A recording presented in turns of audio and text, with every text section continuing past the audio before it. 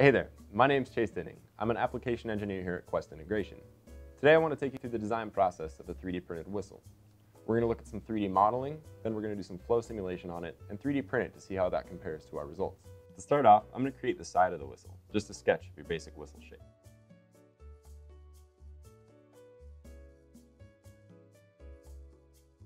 I'll extrude that the thickness of 0.1 inches. On top of that body that we just created, I'll create another sketch for the interior of the whistle. This is going to be the sort of hollowed out area on the inside. But Chase, why not just extrude the whole part and then shell it out? I mean, whistles are just hollow, right?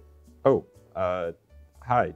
Yeah, that's true. But with the way this needs to be shaped on the inside to make the sound we're looking for, it would end up being more work and more features to get the same results. Now, can I get on with my job? I guess so, man. Whatever. Carry on. All right, then. You can see I've almost finished this sketch. We have the mouthpiece here with the round section at the back, and this area here, which is where most of the interesting stuff happens. But we'll see more about that later. I'll extrude this 0.8 inches.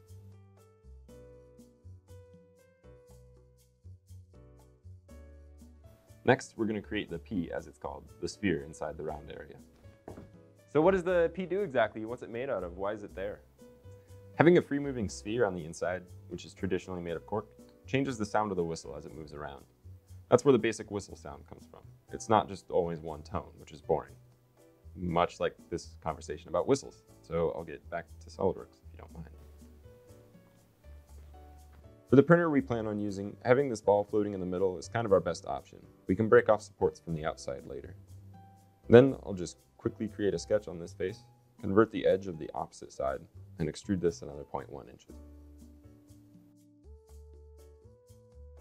Finally, I just want to add some fillets to make this a little more realistic, and we'll have a completed whistle. So we can start printing and making noise now, right? It's all done? Well, we could, but at this point we don't even know if this design will make any noise, so that could end up being a waste of material. Instead, within SOLIDWORKS we have some pretty useful tools for this.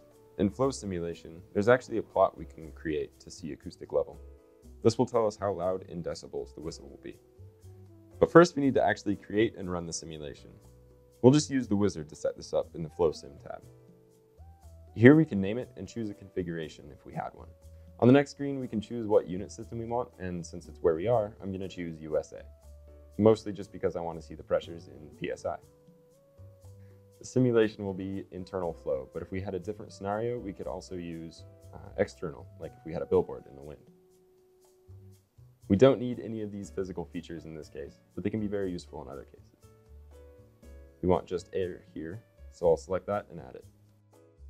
Hey, but Chase, what if we just... These wall conditions are fine as they are, and so are these initial conditions. Now that the setup for the actual simulation is done, we need to give it some input data.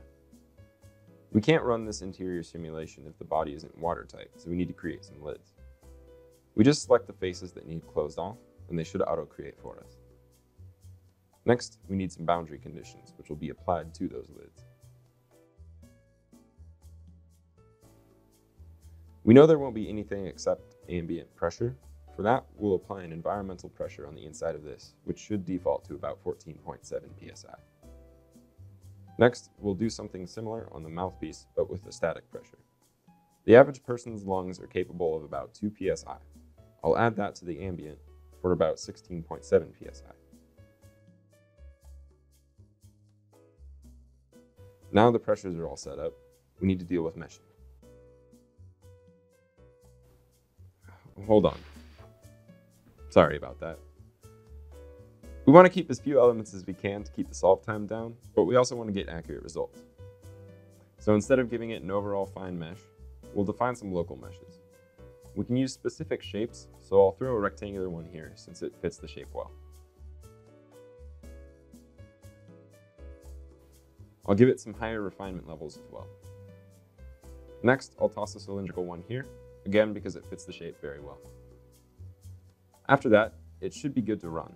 It takes about 20 minutes, so I'm going to skip ahead since I don't really think you want to watch that. Aww.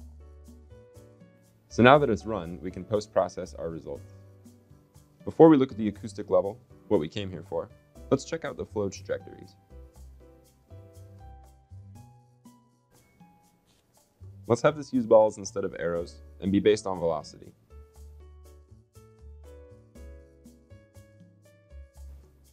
We can animate it and watch what path the air takes once it leaves the mouthpiece. Ooh, what's this? Whoa! We could also define some different cut plots for velocity and pressure, but let's go ahead and get to the sound. I'll create another cut plot offset from this plane by some relatively arbitrary amount. I like the way contours look. In this dropdown, we want acoustic power level.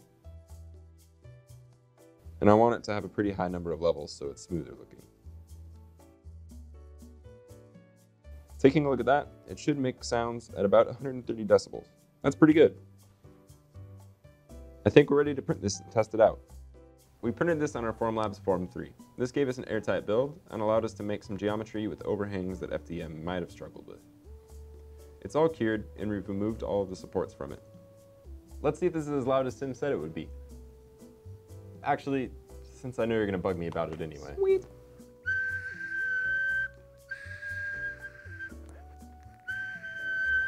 Contact me if you have any questions about any of these solutions.